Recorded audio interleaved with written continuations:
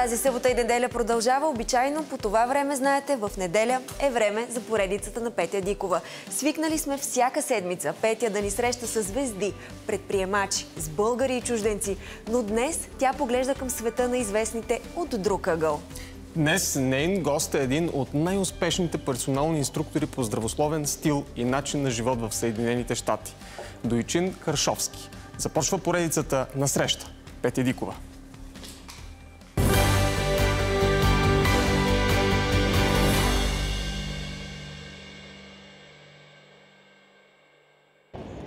Наричат го българинът, който учи американците на дълголетие. И действително, сред ВИП клиентите му са брокери, адвокати, рок-звезди и наследници на американски президенти.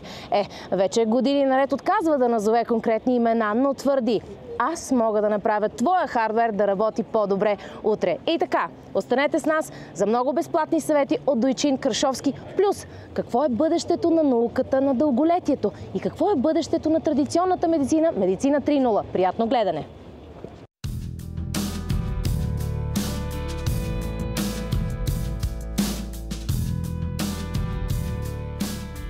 Най-краткият съвет за дълголетие но слагайте си колана като карате. Най-важно е да оцелеем следващите 5-10 години.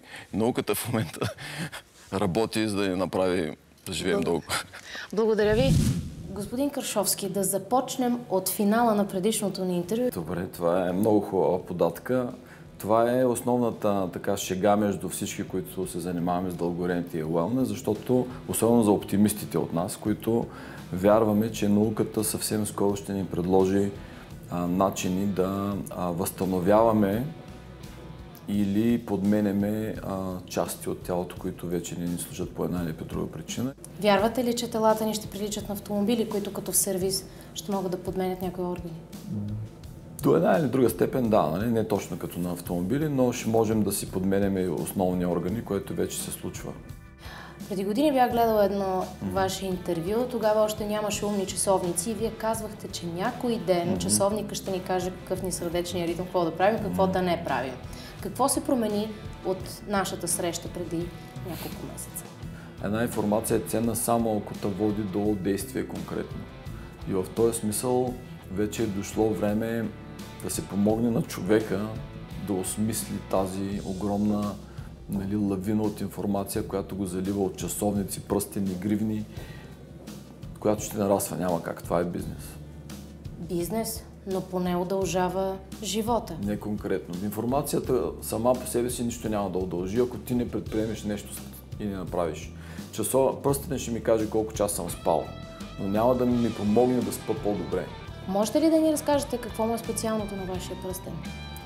Този пръстен е един от първите, които са доста точни, а, като измерват сън и следят а, циклите на съня, ритъма на дишане, ритъма на сърцето, HRV, Heart Rate Variability. Особеното е, че нали, много хора не обичат да спят с часовник и това е доста комфортна а, а, альтернатива на часовника.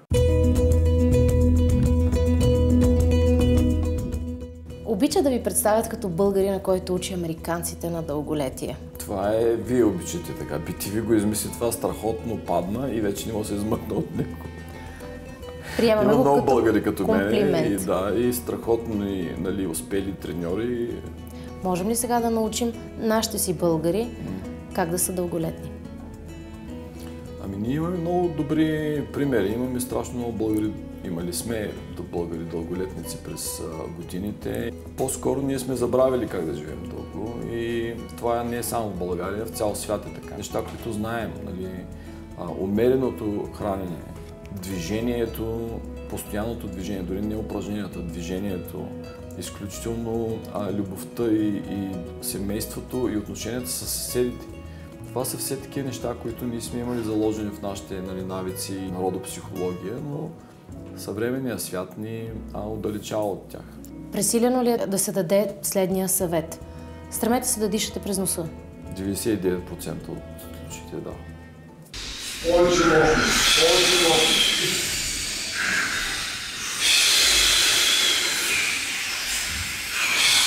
Но моето мото е следното. Дай ми 15 минути от деня си, всеки ден и аз ще ти помогна да ги напълниш неща, които са важни за теб.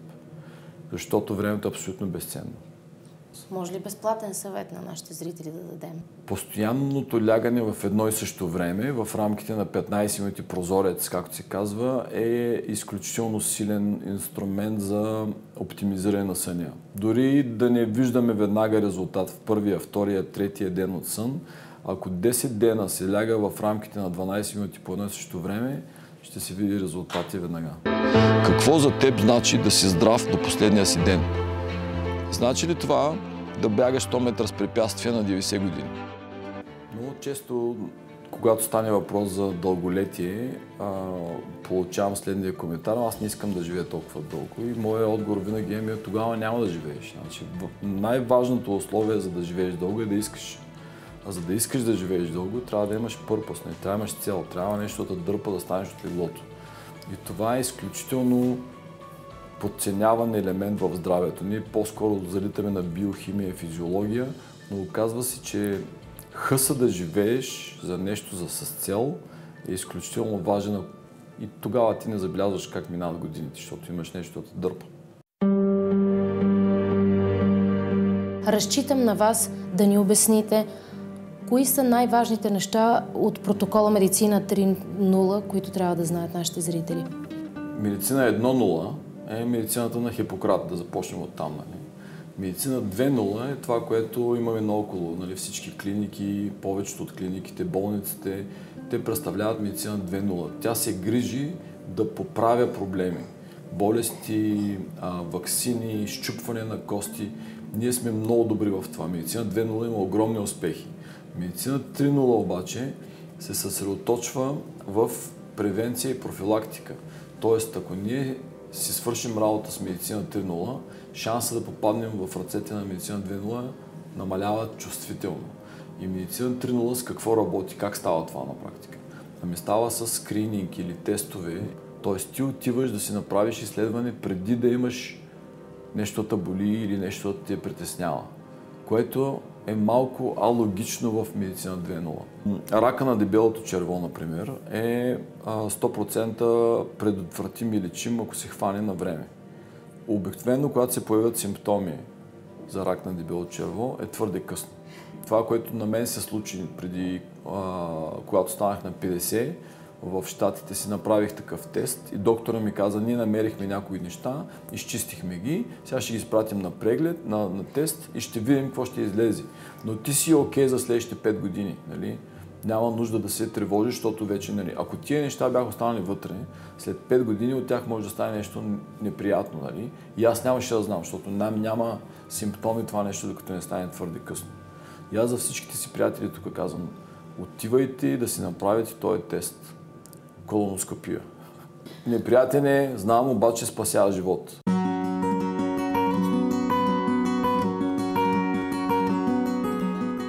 Обичате в книгите си да казвате, че както чистим апартаментите си, домовете си, къщите си с прахосмокачка, така трябва да подхождаме и към тялото си веднъж седмично, няколко пъти да. месечно.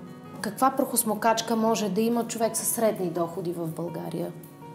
Можем ли да му предложим?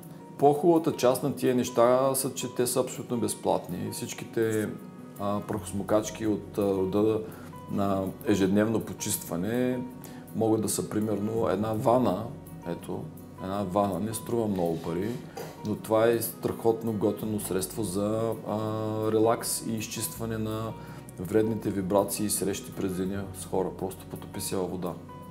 Ако няма вана? Ако няма вана, душ трева, бос вървени по тревата. Хващаш тръбите на парното. Ето, биохак. И цялата тази вибрация, която си е събрал, отива в тръбите на парното. Ето, фри. Щедро, благодаря. Трябва да наистина да видиш план за живота си. Ето, аз съм на 55. Ами, мога съм в началото на нова кариера. Обикновено хората на 55-60 тръгват да мислят за пенсия. Но това ти е първата смъртна присъда. В момента, в който нямаш какво да правиш, тръгваш да умираш. Просто се отписваш сам. Природата няма нужда от тебе. Трябва да имаш нещо да те дърпа. Истината е, че след, ако след две години направим този разговор, най-вероятно ще има технологии, които с още 10, 20, 30 години ще са удължили живота. И тази тенденция ще продължава. Няма да спрат хора да умират на 60 и на 70 години. И на 50, защото все още малко хора приемат принципите на медицина 3.0, а те са първото условие за да живееш дълго. Добре, нека като в литературата mm. прекрасен нов свят. Кое беше най-смелото нещо по темата дълголетие, mm. което прочетохте напоследък? Ми най-смелото нещо не съм го прочел, но го мисля отдавна и така го м- играя си с тази мисъл, е, защото, както казах в началото, има страшно много информация, която ни се струпва на нас и ние трябва да направим някакво действие. И както казвам, назрява момента, в който на този човечец отдолу трябва да му се помогне да започне да прави действия, които са добри за него. Сега подсъзнателно и ти аз знаем какво е добре за нас. Каква диета е най-добре, какво трябва да правим и какво не трябва да правим. Обаче не го правим. И представи си, че имаш такова устройство на ръката, което без ти да разбереш, ти помага да правиш нещата, които са добре за тебе. Е, това ще бъде много смело. Ще да обърнем играта, да превъртим играта и тая цяла информация, която се събира, някой да я обработи много умно, защото вече имаме изкуствен интелект и да ни помогне да вкара тази информация обратно в нас и не без да разберем да започнем да правим нещата по-добре. То да моделира поведението ни. Да ни помага да правим нещата, които са по-добре за нас. Казваш му, окей, Сири или Аладин, помогни ми да спа по-добре. И то започва да наблюдава. И след месец знае кои твои поведения водят до по-добър сън и кои са до по-лош. И след това започва да те потиква да правиш повече от по-добрите. Ако, ако аз имам крайен срок да предам доклад, и да. не трябва да спя. Ти винаги ще имаш контрол. Ти винаги ще можеш да го овърулваш, защото това е вътре. Но така лекичко ще те похвали. Браво, Петре, легна си на време днес. Браво, така се почувствам добре. Ама само ми го обяснете графично. Mm-hmm. Сири ще стои тук или Сири ще е някъде вътре? Защото... Има два сигнала, от които хората разбираме и се водим. Единият е а, морков, другия е пръчка, нали така? Това са двете основни мотивационни инструмента. И това устройство ще използва тия сигнали, за да те поощри или да те накаже лекичко за нещата, които не са, ти, а, не са добре за теб. Ако запалиш цигара, ще се почувстваш кофти. Няма да ти е добре. Ако пиеш един чай, обаче ще каже, ей, така, този чай изведнъж ми, така, почувствах се по-добре. И без подсъзнателно ще ги... Просто ще те лекичко потиква към тия поведения. Вал с, с мислите Представи си това за деца когато подрастват и искаш да ги възпиташ да правят неща, които са добри за тях цял живот. Имаш едно такова устройство, което няма постоянно да ги гледаш, казваш, я му помогни да почне да се оправи леглото всеки ден. И когато го оправи, той ще бъде леко поощрен. Когато не го оправи, се чувства кофти, не че ще е наказан. Imagine that вътрешна, доброволна да. манипулация на съзнанието. Представям си го като твоето духче, което е само твое, то работи само за теб, никой не го ползва, то се учи от тебе, кои твои поведения да правят по-добър. А за скептиците пред екрана, които ще си кажат това изкуствен интелект не крие ли някакви рискове да ни подведе?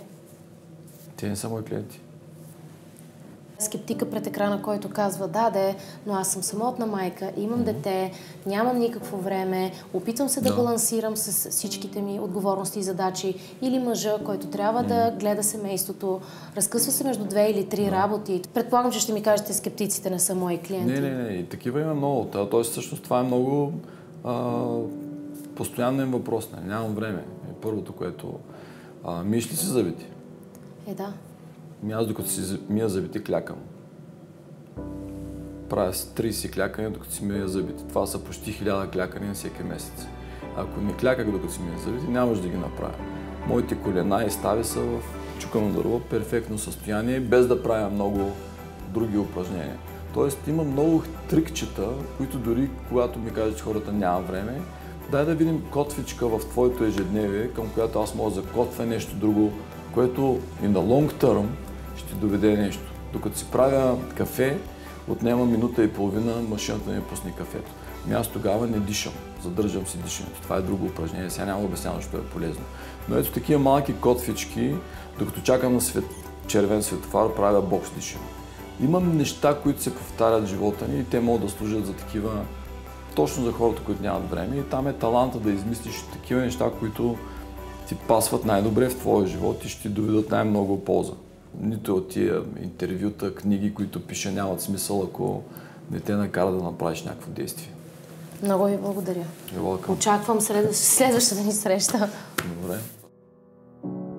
Признавам, последните две минути от интервюто са ми трудни за осмислене, но вярата ми е във вас, зрителите, за това и на вас оставям интерпретацията на чутото.